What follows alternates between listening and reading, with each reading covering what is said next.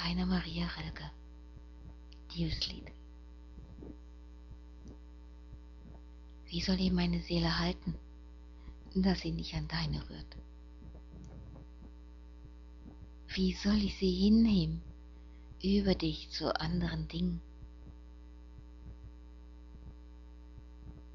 Ach, gerne möchte ich sie bei irgendwas Verlorem im Dunkeln unterbringen, an einer fremden, stillen Stelle, die nicht weiter schwingt, wenn deine Tiefen schwingen?